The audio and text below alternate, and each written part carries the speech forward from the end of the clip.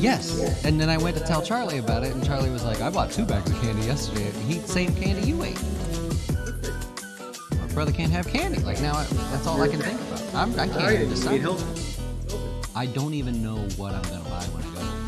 Like I'm thinking that purple bag of gummy Skittles thing, but I'm worried they won't have them. Have a great healthy day. Good food. It's all out the window, thanks to you, sir. Hey, welcome to Closing Beat, everybody. How are we doing? Happy, happy Wednesday, right? Woo! What a day in the markets, huh? Busy one. We've got a lot to talk about here today, and uh, maybe give you a little history lesson as well.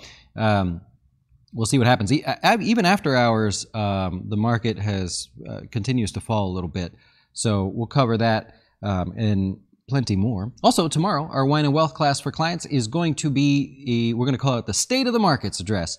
So we'll go over some of the stuff, uh, portfolio updates and things that are happening uh, here, uh, because as we pull back, it's getting exciting now. I think a lot of people have been waiting for this pullback, and man, we finally got it there. So we're ready to roll. We didn't do office trades today because portfolios come first, and uh, I, I actually didn't do anything. All I did was roll. Uh, Charlie had a trade on uh, New Relic. I just rolled that out to the next month because he was running out of time, and that's it. I, I genuinely had no time to uh, tinker with that today, so we'll be back at it tomorrow. We got a lot. Well, actually, I'm kind of happy we didn't do anything because remember we talked about yesterday that you're kind of hoping this breaks the low.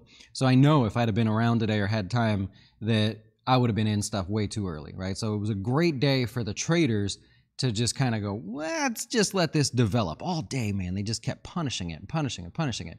So I think it's going to work out well. Building a watch list for tomorrow, and uh, of course we'll address it.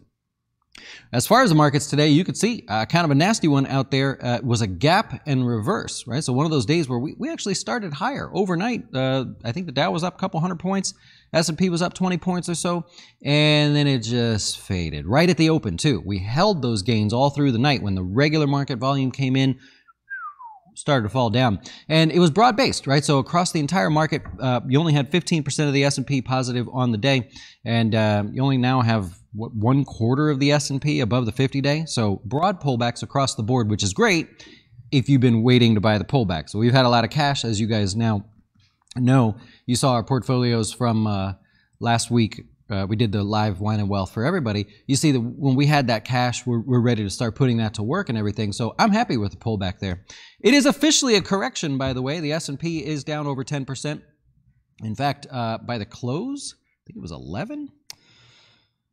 Yeah, you got the S&P down 11.3, the Russell down 13.2 uh, year to date. The Nasdaq down 17, so pushing towards uh, bear market there for the Nasdaq, and the Dow still doing the best, down only 8%. But when you look at the S&P, um, it's taken just over 30 days for this to happen. That's normal, actually, uh, for a market to fall 10% in that 30-day range. It's basically average uh, or median, I should say. So it's not um, it's not anything crazy. Like we haven't fall like uh, COVID, right? During COVID, fell seven uh, seven days, we fell 10%. Okay, that's abnormal, right? But to go 30 days and have a 10% pullback is actually really normal, and um, I'm, I hope it keeps going just a little bit more there. Um, in the last 75 years, there have been 58 total corrections. I think 1946 was the farthest we could go back for this.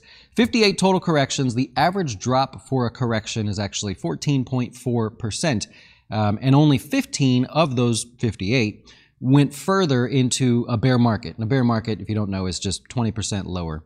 Um, and so extended is the key here, right? If you look at the S&P, we're likely going to break these lows, right? Maybe we have a gap down reversal tomorrow. We'll see. But it looks as though right now the S&P is content to break the intraday low uh, from January there. And you would have a very extended market there, right? The bulls are looking for their moment to buy, and I'm going to go over that here in just a minute they're looking for their opportunity, but the opportunity is not to guess that this previous low is going to hold. So if you're a market or index based investor, why do you want to guess? Right? You just wait till tomorrow. See, well, now you have to wait. But you wouldn't want to guess that a low is going to hold with all that aggression that we've come down to those lows at. Um, now, if we look, well, I've got my line here already. If you just draw a little little line, we go from today and you go all the way back. When's the last time we've been this low? June of last year, right? So you've got what eight, eight months uh, worth of gains completely erased in the S and P. Uh, so if you've been patient, you've been looking for a pullback. Here we go, right? This patience has paid, right? This is, this is, the time you want to start looking to put some of that cash to work if you can. Uh, if we look through the NASDAQ, that took it the worst today, and it, of course, is the worst uh, year to date, down 17%. The NASDAQ did break that intraday low and closed below it, like um, yesterday. It didn't do that yesterday. Today, it breaks that low. It's same thing. You got lows that are pushing you back to now just about May, right? Give or take about last summer is where we're seeing the NASDAQ pull back to. Uh, if you look in the Dow, there we go. It was holding up the best for a while there, but the Dow is uh, fortunately, uh, selling off as well. And now you find yourself all the way back here, same thing. You're just basically erasing about eight months worth of gains, although they weren't as much in the Dow. Uh, the NASDAQ is more impressive because what gains you're giving back were the best gains out of all the major indices. So they went from best to actually worst at the moment. Uh, so volatility is kind of normal there to deal with. The Russell, uh, down 13% year to date. Also, uh, well, you'd have to say right now it's the strongest of the indices in terms of holding above the previous low there. Uh, the known resistance there will stay. Everybody's going to look at that on the next run, or maybe if there's another attempt to go up there. So nothing uh, new there. Gold basically quiet, sitting at highs there, just up a little bit. Bonds actually fell a little bit more here today. Uh, rates moving higher, of course. There's now essentially uh, well, there is a 67% chance that the Fed raises rates a half point in March. And we talked about how they opened the door to that last uh, yesterday, actually. Or, I'm sorry, uh, Tuesday. Um, now, if you look into uh, May, so they'll meet in March and then they'll meet in May. Now there's only uh, a 45% chance. Well, there is a 45% chance that they'll raise a half point. There's nobody assuming that the May rate hike will be a quarter point or no change everyone says it's at least a half a percent. Those are the current betting odds on that one. 44% of people say it'll be higher than a half a percent for the May meeting. That's where we stand right now. Those numbers change constantly. Uh, looking at the price of oil, uh, pulling back just a little bit today because maybe there's going to be another strategic reserve release. Um, they're talking about doing a combined uh, sort of multi country release like they did last time. And so we'll see how that goes. A lot of stocks that are in the energy sector. Remember, it's the best performer year to date. Uh, so if you look at the sectors, let me see what I can find real quick for you. Uh, up, still up 21%. Energy's up 21% for the year. No other sector is actually positive for the year. So it is the only and lone sector that's up 21%. It'd be totally normal for that to pull back. Now, I've got some data to share with you before we move on here. You might remember back in late 2013 uh, into 2014 there, Ukraine and Russia were, that was the headline, right? What we want to do is compare this time to last time, right? So uh, Obama was president at the time. Doesn't matter, but that's who it was. Um, and that's all we could talk about. Nothing else was interesting. Is this time different, or is this time the same, or something like that? Um, so what happened back then? If you're not familiar, Russia wanted to annex Crimea. Essentially, they wanted to take Crimea. Remember them, Crimea? Um, now there was a division uh, between the Ukrainians and what they call the pro-Russian separatists, right? Just the people that were all for it, and then the people that weren't for it, right? The people that wanted to keep their country. Um, it got violent when the um, Ukrainian president he actually got rid of a deal that he had with the EU and he went in favor of Russia. And so everybody got upset by that because, you know, obviously they were already divided. It'd be like in the country Republicans, Democrats, if you, you voted Republican and the Republican was the president, all of a sudden he ditches a deal and goes with the Democrats, well, the Republicans would be mad. Kind of like that, but we're involving the people instead. Um, now, as a peace offering, Russia actually offered, hey, we'll get rid of $15 billion in debt. Tell you what, we'll just wipe it away. It's all good there. Oh, I'll tell you what, and also your oil prices, we'll lower the oil prices as well. Um, and that didn't work, right? People didn't like that. Uh, protests continued. We saw it on TV. Uh, violence continued and everything like that. So Russia says, whoa, it, it's in our best interest. Again, I'm talking about 2013 and 14. We go into 2014, Russia says, we need to protect our interests uh, in this area. So we're going to allow the use of military force if that's you know what we have to do. Um, Obama then comes out and says, "What? What, what, are you, what, are you talking about? Protect your interests. You have no interests. Like, and Putin totally spun that whole conversation. And so he's, so Obama put sanctions on them. Nothing happened. Putin didn't blink. He moved forward there. By the time we get to April 2014, the uh, EU, Ukraine, Russia, uh, the United States as well, get together in Geneva have a, a get together and they're trying to talk about, hey, hey, let, you know, let's let's try to work this thing out. Let's not go this route and everything. Uh, but then the acting president of Ukraine decides, you know what, we're going to use military force and we're going to go ahead and try to protect this area here. Um, so Ukraine holds a referendum basically shortly after there, and they say, all right, uh, we are going to give up Crimea. They were officially annexed by June, I believe, of 2014 there. Russia says, cool, all right, we're going to pull back our troops. All is good, no problem there. Ukraine signs a truce deal, everything moves on. Crimea is now independent uh, from Ukraine, and uh, the Ukraine actually is now considered U- uh, independent from Russia. All is supposed to be good, right? It's going to be just fine. During that time, the S&P, this is what I was getting to. Sorry, I went on a history lesson there. What I was getting to is during that time, the S&P actually goes up 13.5%. I mean, there, it was volatile, but it actually went up 13.5% during that late 2013 into June of 2014. It averaged, just to give you an idea of the volatility, it averaged a half a percent move a day. So the range from high to low, about a half a percent. It's not so bad, it sounds like, right? But that was the volatility at the time.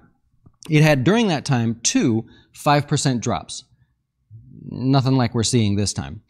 This time is a little different, but it's kind of similar, right? It's obviously the same actors in the same space. Russia gets aggressive. The Ukraine gets no real support because they're not a NATO country. And so militarily, they're not really getting any help. We'll send them some money, you know, maybe try to help out here and there. But there's no military fight here with the U.S. because we're not required to protect them.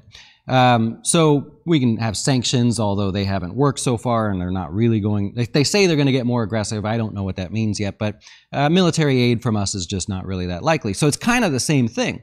Um, now, the market is responding much differently. Quite a bit, as you might be able to tell, quite a bit differently here.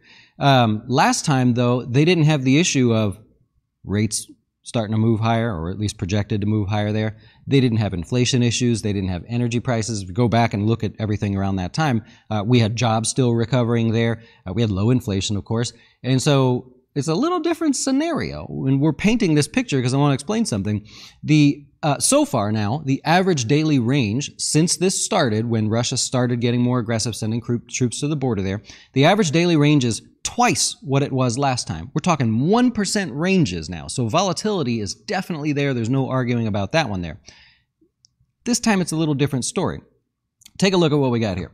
Here is officially from the start of the first headline uh, from the last time. The green is 2013 and 14, and we went the we just counted the days forward until they officially signed the truce with uh, when, when, Ukraine officially signed the truce with uh, Russia.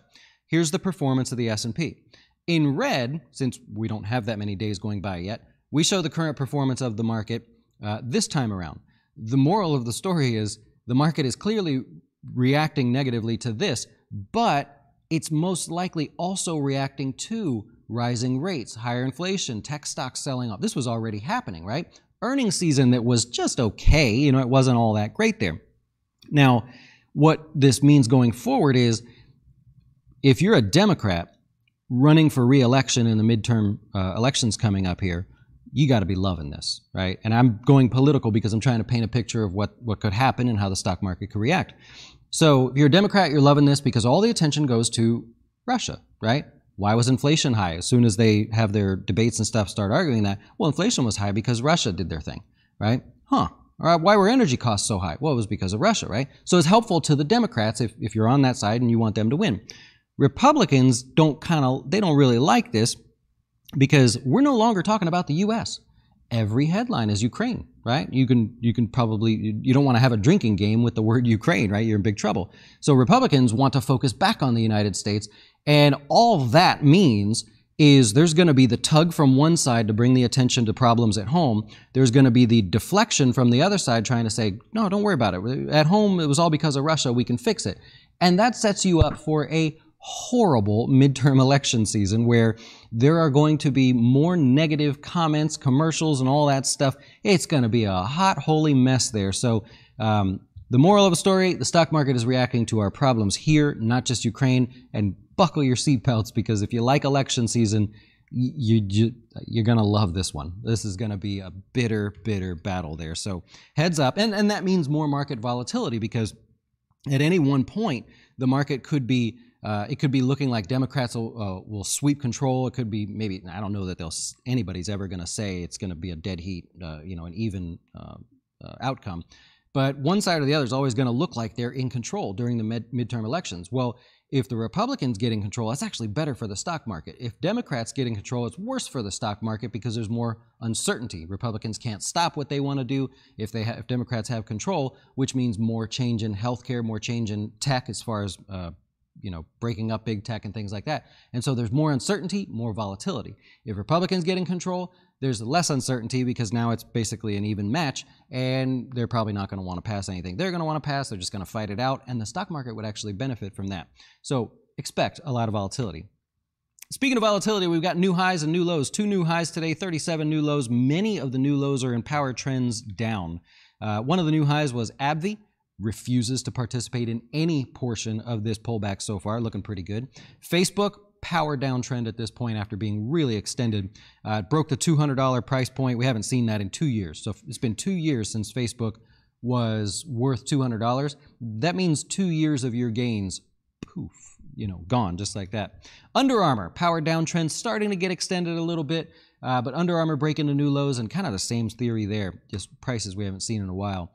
3M, very extended, actually, would be the most extended out of the new lows list uh, here today. That hit new, uh, new lows as well. And, and Honeywell, there you go, would be in second place in terms of the most extended uh, stock that made the new 52 uh, week lows list. We have some stocks in the news here. And then uh, we'll answer your questions if you happen to have any questions there. ATVI says, uh, which is Activision, going through a bit of a, a, a buyout. They're going to delay, delay the release of uh, Call of Duty. The stock was down a little bit on the day, but it's basically frozen as it stands right now. Uh, Palo Alto, we talked about this one. Well, you guys brought it up yesterday that they had earnings. Uh, ultimately, it was a great response to earnings, but market dragged it down. Also, it wasn't off the charts in terms of what they did. So Palo Alto, uh, better than expected earnings. They raised guidance and everything, uh, beat on revenue as well, and just not enough, right? It was just an okay earnings report that sent the stock higher initially. All, all air at that point. Diamondback Energy um, still added a, about a percent on the day there. Uh, earnings beat better than expected. They increased their dividend uh, 20% or so, 18, 19%, somewhere in there. Uh, margins of 58% for Diamondback Energy. That's why they did so well last year. It cost them just over $10 a barrel to produce, right? That's their cost. And you know what oil is selling for now. Now, Diamondback uh, has taken the approach of some of the smaller um, producers as well and said, you know what? We're not going to spend money on producing more. We're just going to kind of soak this up and enjoy it. So they got a ton of free cash flow they're just enjoying the high margins right now.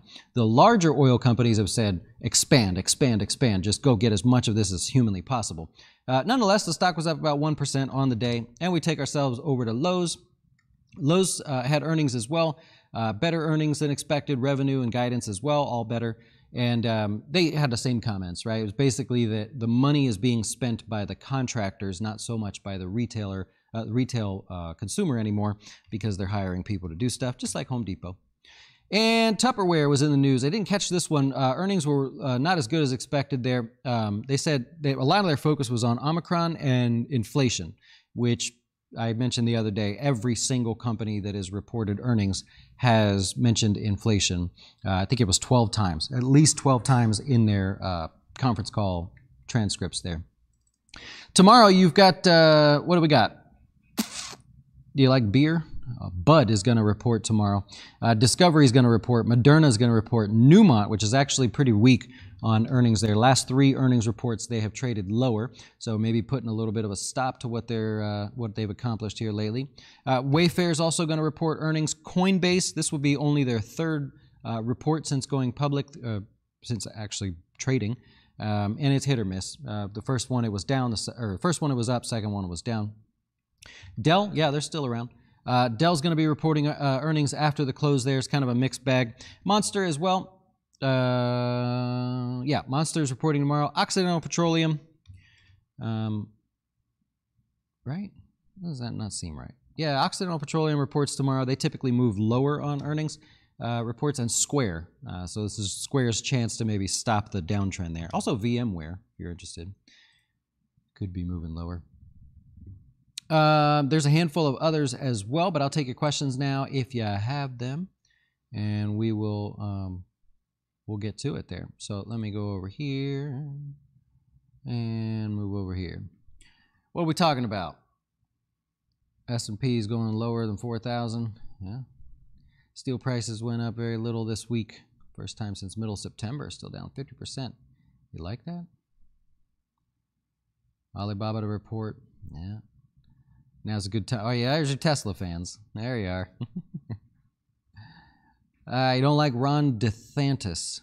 Uh, that's, I don't think that's how you spell it, but it's hard not to like him living down here in Florida. Pretty happy campers here. Alibaba, yeah. Yeah. I believe, um, actually, it's tomorrow, though, right? Tomorrow after the close? Well, which will be overnight. Yeah. Uh, Andres, can we expect a SPY to test the resistance at 430 considering for a little bit since it's oversold and sell off again an additional 15%? So if you're using the SPY, you're saying 430. So you're looking at coming back to this gap up, this basically right in here, this gap up there. Um, I don't know that that happens like first, to be honest. Uh, really, the pressure feels like it's to the downside. You kind of kind of feeling like that gap down day tomorrow, right? Where we wake up. I mean, even after hours, we're still, or we held lower couple points on the S&P. Sort of feels like you break this tomorrow and you have that, that sell off from all the stop losses here, or anybody that gives up at that point, and maybe get a you know morning washout and um, see what happens from there. Yep, yep, yep. Jay, oh, sorry if I missed your question. What do you think of Charlie Munger's speech? I didn't catch it. Do you primarily focus on U.S. companies? No, it's just lately. Uh, that's been where the action has been for us. Um, anything in uh, Hong Kong has done really well. Uh, Brazil's done really well. Uh, obviously, Russia. I was thinking about that today. Actually, what do you what do you think, Cody? It, this is I'm putting you on the spot here. You ready? You got this? Is it un-American to buy Russia? No worries. No, because I don't know if you guys saw, but the let's see if I can go over here. I mean, I just it came up on the screen today, and I just thought, huh, that's pretty extended. Do you see Russia? This is RSX, this is the ETF for Russia, down 10% the other day, down another 10% today. Hypothetically, if you wanted to play a bounce there, is that is that kind of un-American, or is that okay? Like, do people get canceled for things like that? I was looking at it, there wasn't there was a lot of volatility there, so I just didn't have a moment to do anything, but I was ready to go, and maybe tomorrow it'll be down another 10%. I'm like, take a shot on that, you know, something small. But it's what it is, man. I was talking to a friend of mine, he's like, that's un-American, man. Don't do it. But he's a good old, good old boy. yeah. Giovanni, got your pullback there. Yeah. You go. Well, some of the ones that you had, uh, those big tech stocks, that you're going to have those big pullbacks. That's uh, that's that that's to be expected. You're not playing the low and slow stocks there, so got to be able to handle that volatility. Yep. Can you talk more about long-term investing? I, uh, sure. Anything in particular? There you go. Yeah. He's more pro-capitalist. Can't support them. I don't know. Some people are, you know, that I respect the people's decisions because some people are like, I don't want to support, you know, alcohol stocks and things like that. As an as an advisor, you have to be able to cater to that. So I get it. Some people are passionate about stuff. I had um, people that don't want to be involved in gambling stocks, things like that. Okay. Or some people that are in the military and just can't participate in certain things. So there it is. it's un-American. Don't touch it. yeah. Oh man. Well, let's see. Oh, that's a good opinion there. Nothing un-American about uh, profiteering off the wars of others. I thought when I thought of that earlier, I'm like, that'll get a rise out of somebody in here. Come on, I love it. Can you talk more about when to take capital gains in an IRA and long? Well, you don't have capital gains in IRAs, so you can buy, you can sell anything for a gain, and it wouldn't be listed as a capital gain. So it's it, it doesn't work. Oh, sorry about the echo. Uh, it doesn't work like um, a brokerage account. So no worries there. Same with a Roth, by the way. Yep. Yep. If Ukraine Russia war officially begins, how it affects the market quick se- I think we could fall to 20%. Yeah, if it were um, the old fashioned, like shock and, shock and awe type uh, start to it, which it doesn't look like it's going that way. They're taking more of the cyber approach. But if it was one of those like the Iraq War, the middle of the night shock and awe kind of thing, that's that's horrible. You know, I think that's that's going to be a problem for the markets there. I think you get your 20% pullback then. Yeah. Do you think of the increase of do you think of the increase in strength of Chinese compared to the US dollar? What are we comparing to the US dollar? Just like what Chinese how do, what do you mean by Chinese? I mean, they're definitely performing better at the moment, but why would we I don't know why we would compare a market against the dollar myself there. Yeah. Uh, making money's making money, man. Do what you got to do. There you go. Well, now I know where all you guys stand. yeah, I love it, man. Uh, lo- wow, there you go. I said it, so I got to go. Somebody pointed that out the other day. And when he says "I love it, man," that's the end of the uh, that's the end of the show. Okay. Well, uh, definitely more action, right? So there's no. This is not like the week that you want to go away and do something and say, "Well, I just check back later." I mean, it's definitely a lot to pay attention to. A lot of fun, of course. We love it. I get very excited when the markets start to wake up like this. So I will be back tomorrow, and then of course our wine and wealth tomorrow night will stay as long as we have to. I'm gonna go over everything I can, and maybe a few bonus things as well. Um, we will be back, of course, tomorrow to do this again. And uh, hey, last thing, man, you see the Tinder swindler? Oh, I've heard all about I it, was, though. my wife was watching it. and I was kind of walking back and forth throughout it. You know that guy's out and about doing his thing. Honestly, I don't even know the concept of the show. I don't. Oh, I won't I just it. know. I just know the name. I won't spoil it then. He, the guy's actually out still swindling, doing his thing, and he posts on uh, TikTok and all this stuff like, "Hey, I'm still, you know, I'm still here, still living my life." Fascinating story, but I got the gist of it. You know, I don't know. man.